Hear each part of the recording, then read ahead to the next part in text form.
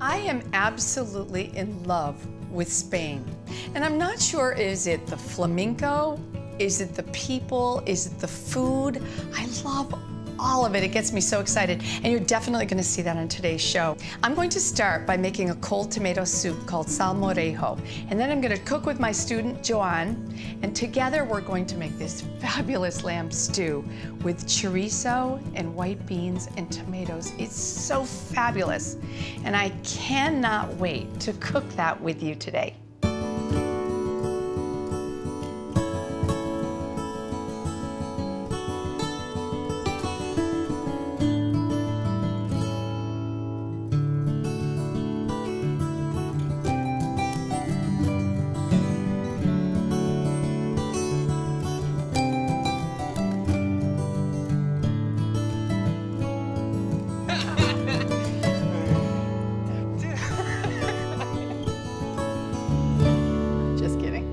Guys could have laughed at that.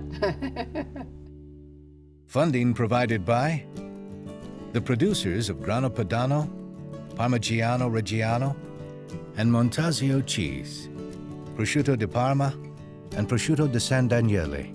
Behind every bite, centuries of tradition. By the U.S. Highbush Blueberry Council. These blue-licious food moments brought to you by Blueberries, nature's little blue dynamos. By Village Harvest, offering a variety of authentic traditional rice and grains, variety you can taste. Village Harvest can also be found in the frozen foods department. By Anolon Nouvelle Copper, copper innovation in non-stick cookware. By Culinap, creating video-based apps for people who love to cook. Culinap, we bring the chef to your kitchen. To learn more, visit culinap.com. By remarkable recipes from Blue Ribbon Orchard Choice and Sun-Maid California Figs.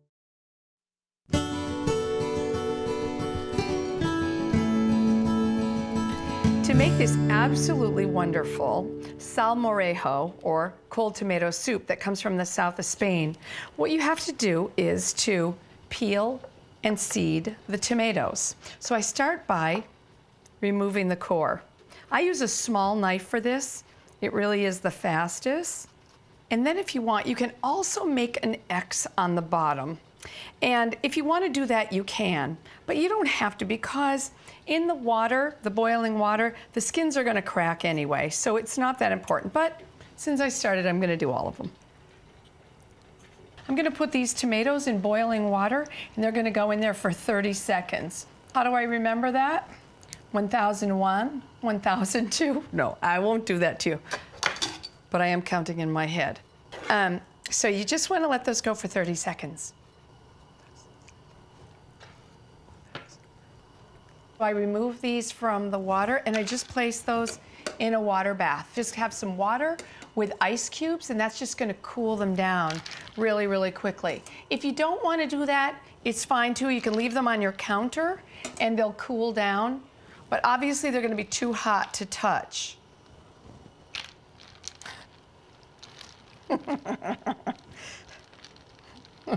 okay, perfect. How's it look? These cool really, really quickly. So now it's time to peel them.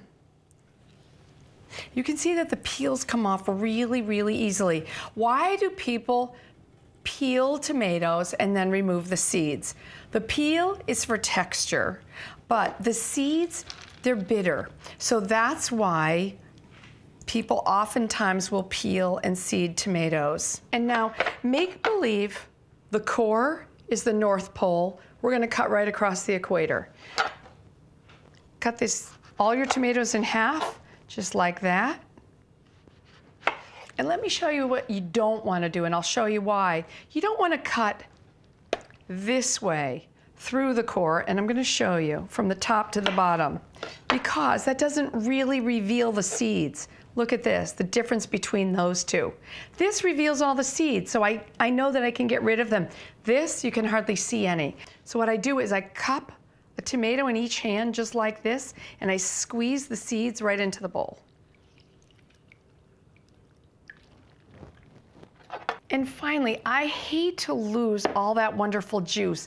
And also there's a gel that kind of surrounds the seed and that has a lot of flavor. So what I like to do is I take all of this mixture that's in here, the skins, the seeds, everything, and the juice, and I just run it right through a sieve. You can just use a spoon to pass the juice through and that gel that surrounds the seeds really has great flavor. Salmorejo always has some stale bread in it. And this is a great way to use up your leftover stale bread. So I like to cut off the crust, but I leave a little bit of crust and then I just tear this up just coarsely. And don't even think about like the size or whatever because it's all gonna be pureed.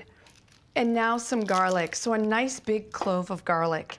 And I wanna peel this. I'm just using a small knife to peel it. But you can just cut this really coarsely because the blender can do the work for you. Also, we are going to add a little bit of sherry vinegar, say about a tablespoon. I'm going to also use some extra virgin olive oil. And you want a good amount of olive oil in there, as well as some salt. Now remember that salt and tomatoes, they work so well together, mainly because uh, the tomatoes are very sweet and very acidic, and that salt will balance that. I'm adding some black pepper. Just take a big spoon and stir it together. So you kind of have this, it's like a bread salad. But now what we do is we put this right into the blender.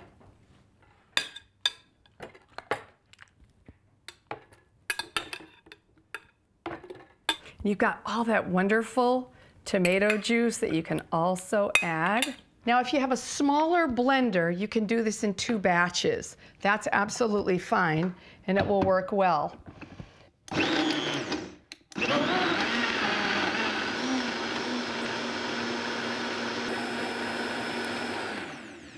You're going to want to puree that until it's really nice and smooth. Look at that. And it's so creamy. The texture is amazing. Now what I like to do is taste that before I refrigerate it because we want it to be nice and ice cold. That's the whole idea. It's supposed to be a really refreshing soup. So let's see how it is. Oh, sorry. Oh, that's so delicious. Oh, I love it. Sorry. Whack. That is absolutely fabulous. It doesn't need any more sherry vinegar. It doesn't need any more salt. It's perfect right now. The only thing it needs is a little bit of time in the refrigerator to really chill it down. It's gonna taste so delicious. Salmorejo is a soup that comes from Andalusia, which is the southern part of Spain. And, you know, I, I didn't see it that much in the United States. I really haven't seen it. And um, I got really excited about it. I loved how excited the Spanish people were about it. And then I got the same way, and it's funny, now I'm seeing salmorejo everywhere. The soup is now chilled. I have some hard-boiled eggs, and you can see I have them in water. So what I do is I crack the egg all over and I put it in a bowl of cold water, and then they peel really, really easily. You can even peel them right into the bowl. And look how fast and how easy that is. Great little trick. And the reason this works is because the water goes in between the shell and the egg. You can see really fast. Then just dip your egg in so there's no shell on it. And then now we can chop these. I like hard cooked eggs on the top of salmorejo, and that's very traditional too. You want it very coarsely chopped. And this is good because it's giving you a little bit of protein in the soup it's a very, very typical soup that you would have in Spain in the summer. And now you just ladle that soup and it's nice and cold and refreshing. I can really smell that sherry vinegar. All right, so we're going to put a little bit of egg on the top. And we also have some cherry tomatoes that are halved. Look how pretty that looks. Just a leaf of parsley would look really nice on the top. This soup tastes absolutely fantastic, especially with a little drizzle of olive oil. Wow, this is delicious. Isn't it good? Yeah, the tomatoes are great. Today, on the show, I have a very special guest, Joan Boada. And uh, Joan is a dancer for the San Francisco Ballet. But today, he's going to be doing something completely different. I'm going to be teaching him how to cook. I'll be a sous chef. Yeah, that's great. And you know what we're going to make? You're going to love it. We're going to be doing a lamb stew with white beans and chorizo. What we're going to do first of all is take a little bit of this mm-hmm. olive oil, put some extra virgin olive oil in the pan, probably about It might- two or three tablespoons. And I've already heated that pan just a little bit. Okay. And Joan, what you can do is put half of this lamb. Mm-hmm. This is just lamb cut from the leg. Most of the fat is trimmed. We're gonna put that in the pan and we're gonna brown it. The one thing that you don't want to do is you don't want to crowd the pan. Yes. Because if you put too much in, what's going to happen is it's going to ah. steam. So instead, is that popping a lot? A little bit. I guess the pan was really nice and hot. Okay. Give that a stir right away. What you're looking for on the outside of the meat is that really nice caramelization. Now, in the meantime, I've got another job for you, Okay. and it's to mince an onion. Okay. Keep your fingertips up at the top, mm -hmm. just so you don't go through them. Okay, and one more cut. Excellent. Now turn it, cut towards Okay. A little bit closer. Okay. So because that will make it finer. Exactly. The beginning of this stew is to, to, to brown the meat, and it takes a little bit of time to do little by little. You, don't- she just told me that uh, you shouldn't crowd the, the, the pan with all the meat at once. So you need to do it by stages so they breathe and they brown in pieces. So it was quite a good uh, experience. Let's put these onions in the pan as well.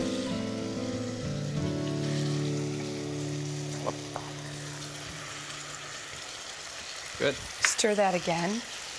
And what's going to happen is the onions cook at the same time the lamb does, and it gets really, the onions get nice and caramelized too. Mm-hmm. And they soften. And the onions give a lot of flavor. And now we're going to chop some garlic. Okay. So we have a bulb of garlic. Mm-hmm. We need about three cloves. These are huge cloves of garlic. I think probably two of these monsters are going to, yeah. Great. And so the way that you can do that, there's a few things. If you mm-hmm. take the side of a knife and go whack, you can do that. But I'm going to show you kind of a fun little, easy way to uh-huh. mince your garlic. So first of all, I'm going to peel it. I got like a twin in there. Oh, you do. You have two cloves. See, we have th- three cloves in the end. I'm going to show you how to mince garlic really fast. If you only have to do one clove, this is a great trick. What I do is I take the back of the knife, see how wide it is mm-hmm. right there? And I take the clove of garlic and I just mash. This is a really big clove. And I mash all the way down the clove of garlic. And if you find that the garlic is big, and like in this case it is, mm-hmm. I'll cut this in half oh in and I'll show you how fast that is now. And you can see almost instantly, you've got, turn your knife over to the sharp side, and almost instantly you've got a clove of garlic. The, the mincing of the garlic, that was something that I never seen. I've been watching a lot of uh, cooking shows, but I never seen a chef turning the knife around and mincing uh, in, with, in that way. So it was quite something that I just will take with me always. Excellent. Don't feel like you have to go fast at 1st Just get your technique down. That's great.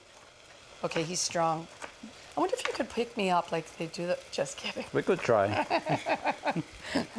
Maybe not after the lamb stew. okay. All right. So we have to do that. the rest of it, no? Yep. So it is your technique. Yeah. Great. That's incredible. Okay. You got it. It's really for some people they have a little bit um, a little bit harder time trying to get it down. Well, I think um, as a ballet dancer, you, you have to learn a lot of things by watching Right. and applying Oh, that right away. Yeah. So I think uh, it comes to my benefit right now Right. to see Oh, you and just great. reproduce. Right. He learned by watching, and he said that's how I learned to dance. And I don't think it's that different than cooking, and I think that's why we watch cooking shows. We're just mesmerized by watching people cook, and then you realize you can do it. I mean, no, we can't all dance like Joan. I don't think, even if we watched. But um, with cooking, I think we can do it. So this is the second batch. Would you stir that again? Yeah. And we're gonna add the first batch back in.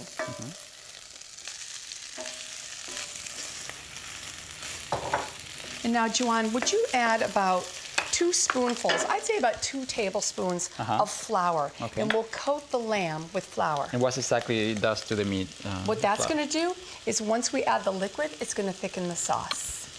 So it'll give us some texture. Another cooking secret. So how often do you cook lamb? This is the first time I cook lamb. It's, uh, Really? it's one of those meat that you sort of afraid of messing up. Right. And you like it. You I like- love lamb. Oh, yeah, I think it has a really Good. uh, You're going to like it then. Okay, toss that together. strong flavor. So what you're trying to do is Mm-hmm. to coat the lamb with that flour now. That looks great. And next what we're going to do is we've got all that really nice garlic. Mm-hmm. So we can add that. Great. You can also add these two. These are fresh bay leaves. Mm-hmm. That has lots of flavor. Mm, I love this. You know how you can really smell bay? Is break it up like break this. it a little bit. Smell it now. Mm-hmm. Oh, I love the smell of fresh bay. Here you go. Okay. Some water. So we put the whole. Yeah, you can. Let's. I like to take it up to the level of the lamb, so Okay. up to the top of the lamb. We can always add more liquid. You can keep going. Yeah. And we've got some tomatoes. These tomatoes are canned, but you can use fresh or canned. And Do now they- you know how to peel, seed, and chop tomatoes. Do they have to be peeled? Yeah. Yes. Okay, Yes. So you can add those. And the only other thing is a little bit of salt Mm-hmm. and also some pepper. Okay. So let's see. Good. That's it? That's good. And some pepper. This is black or white pepper? That's black pepper. Okay. And you can stir that again. And then what we do is bring that up to a boil.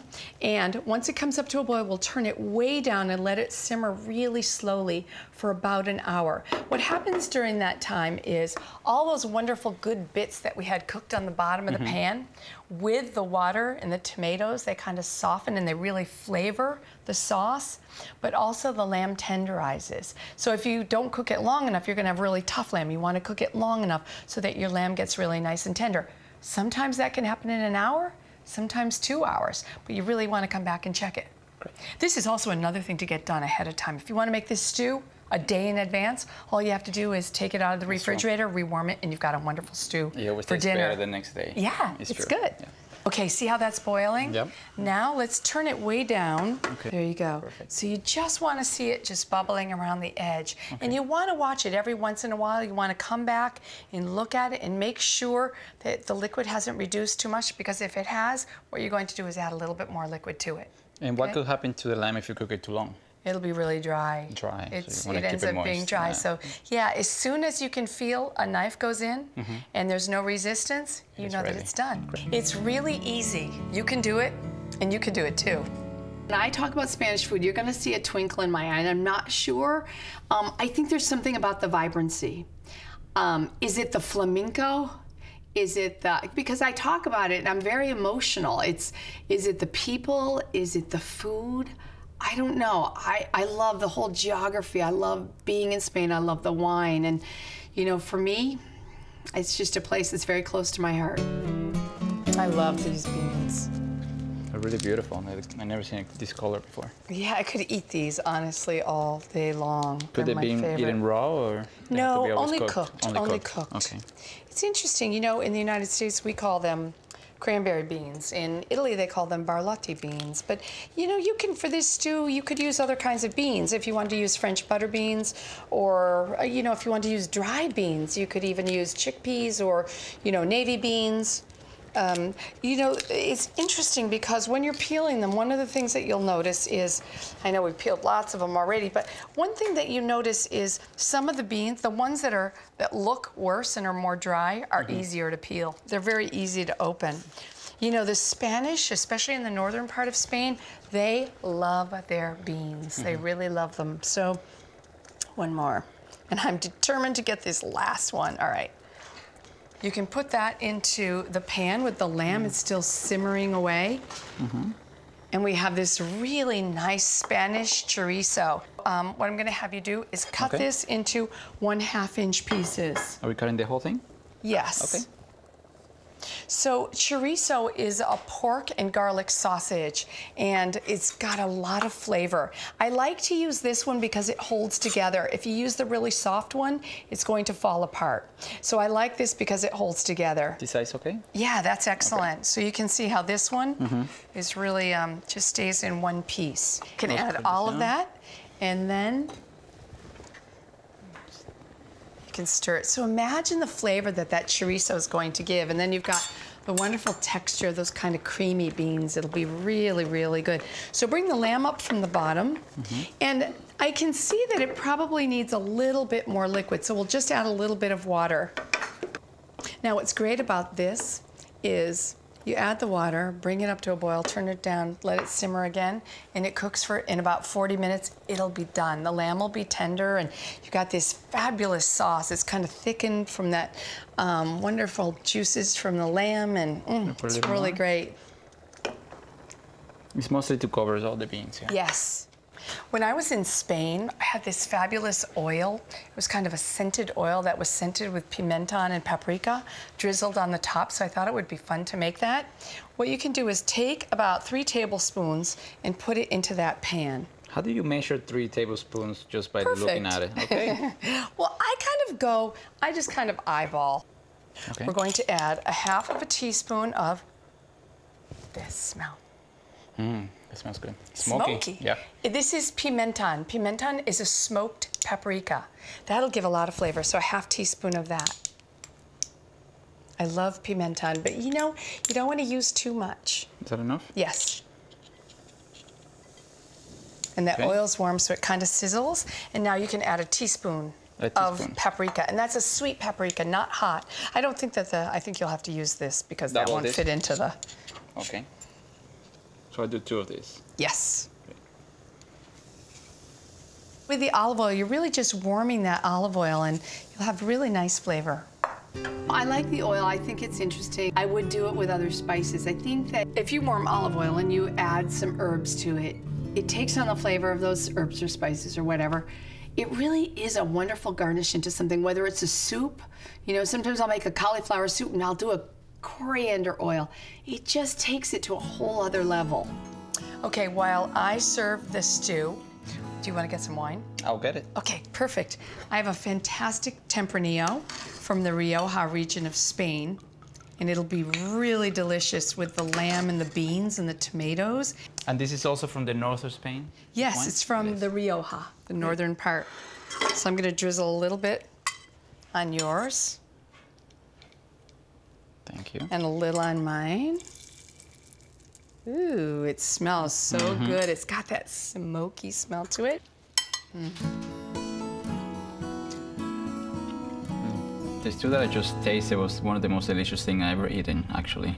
I was like being in, on a Sunday with your grandma and eating a beautiful meal on a beautiful day.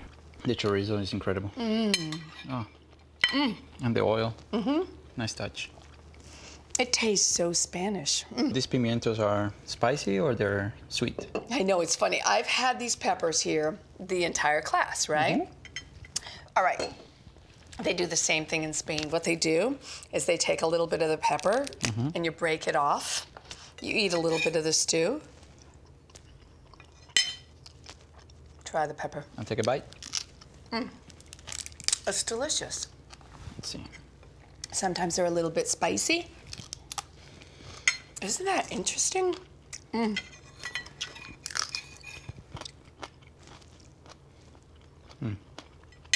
Fresh. I know, I love, I love the combination. And they really, they'll just, they just put it right here on the edge of their plate, just like that, and they keep taking little pieces. Mm -hmm. Anyway, it was fun, really fun to cook with you. It was my pleasure. And you know, it was like we just spent an afternoon in Spain. It was. Fue un placer. Gracias. you can do the same thing. Make all these dishes at home, and you'll think you're in Spain too. If you enjoyed Joanne Weir's Cooking Confidence, you can download for free the Joanne Weir's Cooking Confidence Appetizers app for iPad. With this fun one on one cooking course, you can bring Joanne into your kitchen and she'll take you through each step of the recipe.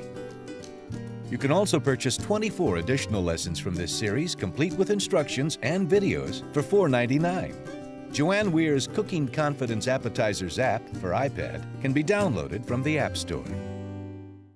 You can visit our website to find and print selected recipes, get information about each episode, learn more about Joanne and the show, see behind the scenes photos, provide email feedback, and more. It's all at joanneweir.com. Funding provided by the producers of Grana Padano, Parmigiano Reggiano, and Montasio cheese, prosciutto di Parma, and prosciutto di San Daniele. Behind every bite, centuries of tradition. By the U.S. Highbush Blueberry Council. These blue-licious food moments brought to you by Blueberries, nature's little blue dynamos. By Village Harvest, offering a variety of authentic traditional rice and grains, variety you can taste. Village Harvest can also be found in the frozen foods department. By Anolon Nouvelle Copper, copper innovation in non-stick cookware. By Culinap, creating video-based apps for people who love to cook. Culinap, we bring the chef to your kitchen. To learn more, visit culinap.com by remarkable recipes from Blue Ribbon Orchard Choice and Sun-Maid California Figs.